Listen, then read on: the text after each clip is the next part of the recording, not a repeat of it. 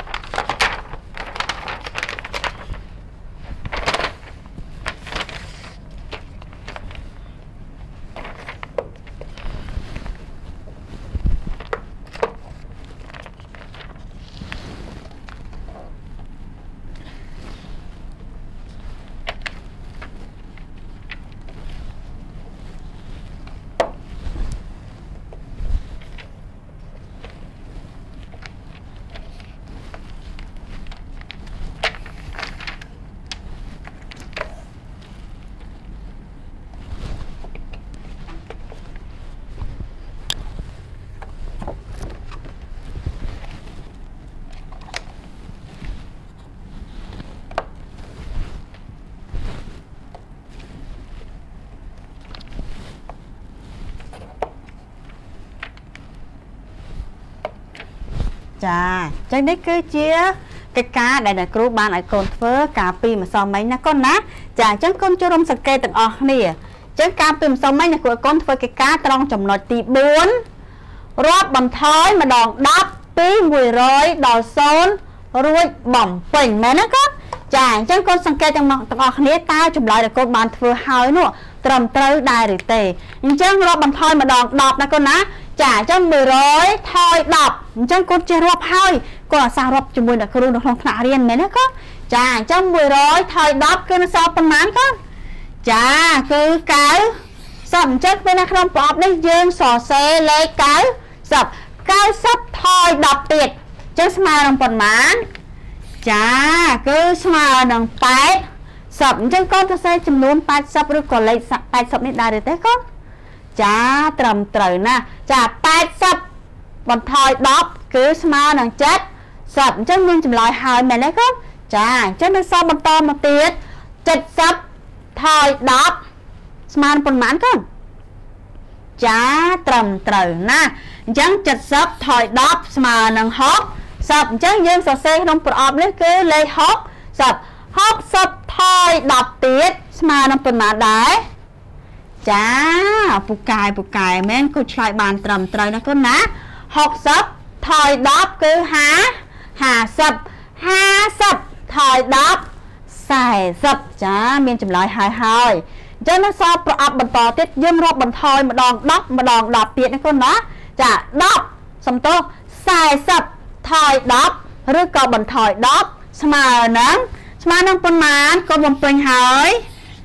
ចាគឺ30ចឹងគាត់បំពេញចម្លើយដោយអ្នកគ្រូរាប់បន្ថយអត់កូនអូដូចគ្នាពូកែមែនចានៅចម្លើយបន្តមកទៀត30ថយ10ស្មើនឹងប៉ុន្មានដែរចាត្រឹមត្រូវណា30យើងរាប់ថយឬក៏បន្ថយម្ដង10គឺស្មើនឹង20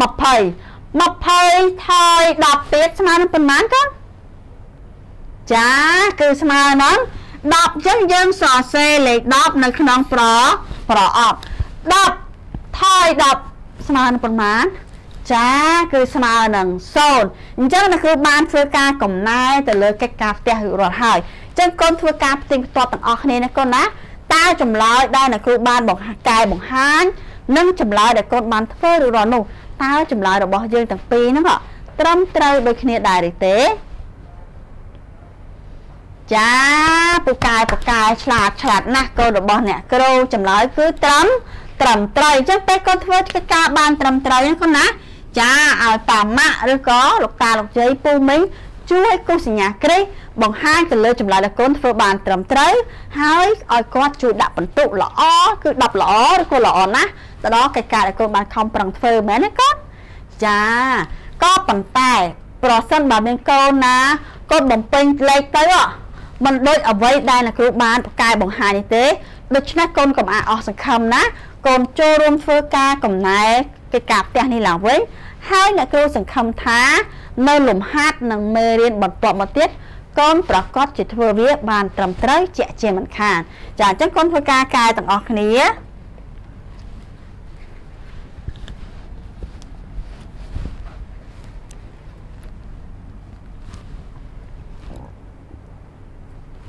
ចាហើយណាកូនអូហើយហើយណាបកាយបកាយមែនចឹងបើកូនធ្វើកំណែហើយដូច្នេះអ្នកគ្រូសូមយកសន្លឹកកិច្ចការនេះចេញសិនណាកូនណា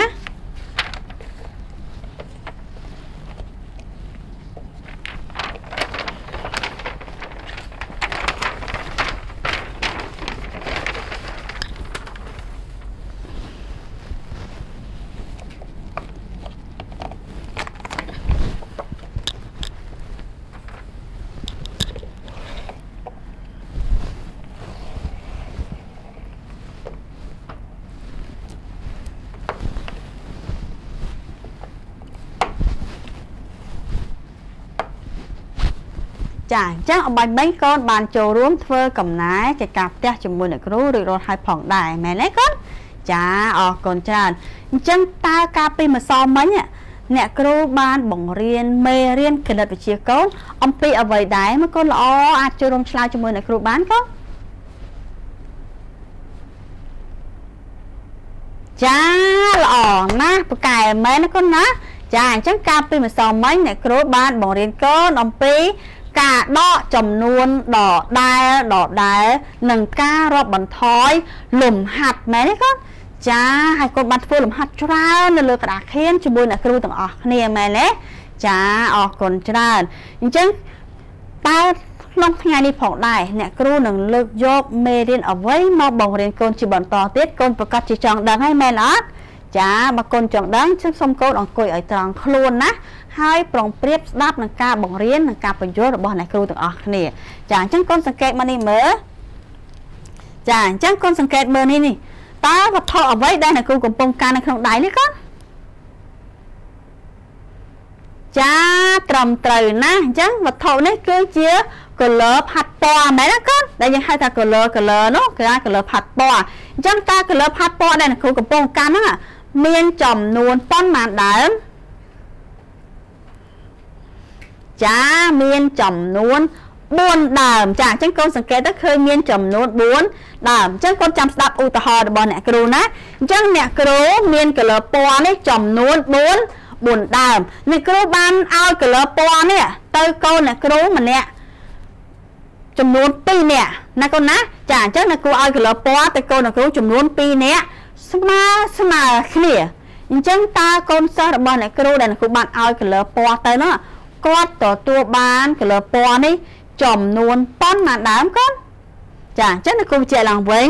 អ្នកគ្រូមានកលពណ៌នេះចំនួន4ដើមហើយអ្នកគ្រូឲ្យទៅកូនសិស្សរបស់អ្នកគ្រូចំនួន2នាក់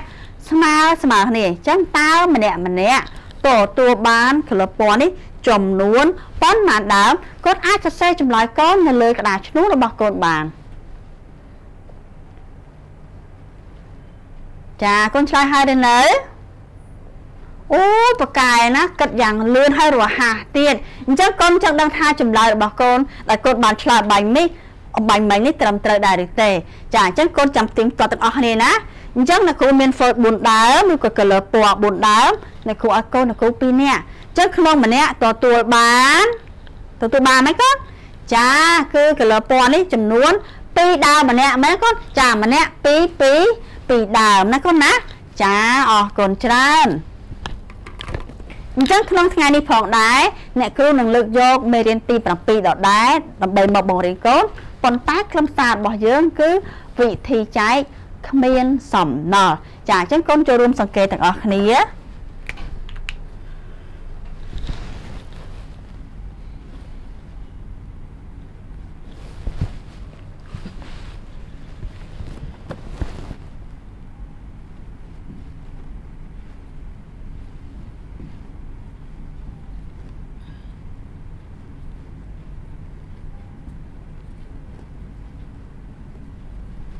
វិធីចែកគ្មានសំណល់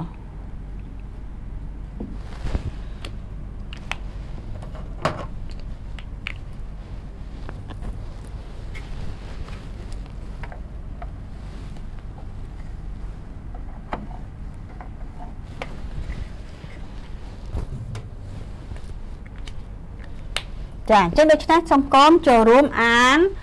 ចំណងជើងនៅលើក្តារខៀនជាមួយនឹងអ្នកគ្រូទាំងអស់គ្នាកូនត្រៀមហើយឬនៅចាអញ្ចឹងពេលនេះអ្នកគ្រូជាអ្នកអានឲ្យកូនជាអ្នកស្ដាប់កូនណាចាចាប់ផ្ដើមកណិតវិទ្យាមេរៀនទី7វិធីចែកវិធីចែកគ្មានសំណល់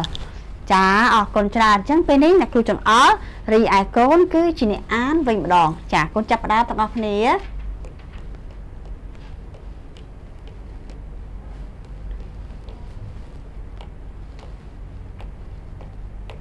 ចាពូកែពូកែមែនកូនរបស់អ្នកគ្រូណាអញ្ចឹងកូនចង់ដឹងថាតើវិធីចែកគ្មានសំណល់ហ្នឹងខុសគ្នាពីការដែលកូនធ្លាប់ធ្វើប្រមាណវិធីបោកដកយ៉ាងដូចម្ដេចអញ្ចឹងពេលនេះកូនចូលរួមសង្កេតទៅលើក្តារខៀនទាំងអស់គ្នា ចាអញ្ចឹងអ្នកគ្រូមានឧទាហរណ៍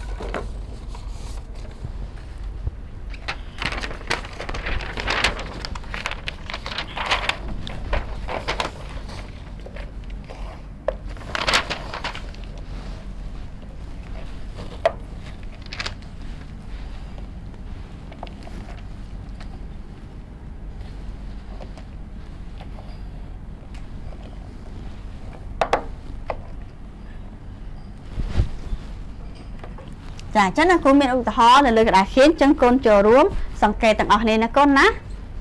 ចាអញ្ចឹងកូនស្ដាប់អ្នកគ្រូទាំងអស់គ្នានីតាមានស្ករ12គ្រាប់នាងចែកឲ្យប្អូន4នាក់តើម្នាក់ម្នាក់បានស្ករប៉ុន្មានគ្រាប់ចាអរគុណច្រើនអញ្ចឹងពេលនេះកូននិងអ្នកគ្រូយើងអានទាំងអស់គ្នាណាកូនណាចាចាប់ដើម នីតាមានស្ករ12គ្រាប់នាងចែកឲ្យប្អូន4នាក់តើម្នាក់ម្នាក់បានស្ករប៉ុន្មានគ្រាប់ចាល្អណាស់អញ្ចឹងខណៈពេលនេះអ្នកគ្រូជាអ្នកចង្អុលរីឯកូនគឺជាអ្នកអានវិញម្ដង